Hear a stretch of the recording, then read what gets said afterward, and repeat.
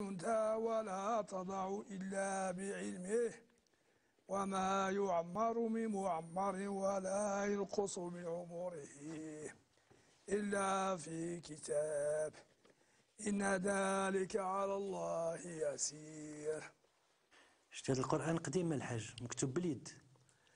القرآن آه، أستاذ كده أنا قديم كنا كنقراو في الجامع أنا كنت كنقرأ أنا بأن واد في هذا الجامع أنا فاش كنت قريت. فهمتي 1900 و 1959 وهذا المسجد Sur le retour, nous nous arrêtons à une vieille mosquée antécédente à la fondation de Fès, dit-on.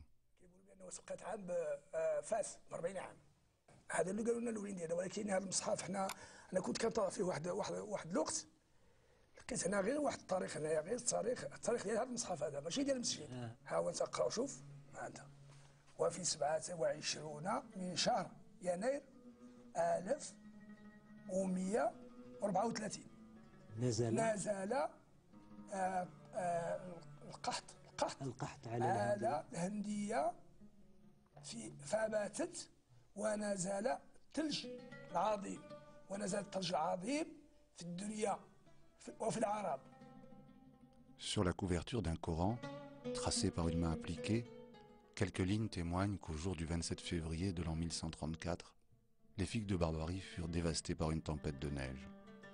Caprice imprévisible du climat, ou bien hasard, des récits de voyageurs venus des montagnes de l'Atlas. De nouveau, nous nous interrogeons. Et que pouvons-nous faire de mieux que de sonder les mystères et questionner le passé pour mieux savoir d'où nous venons, afin de mieux connaître qui nous sommes?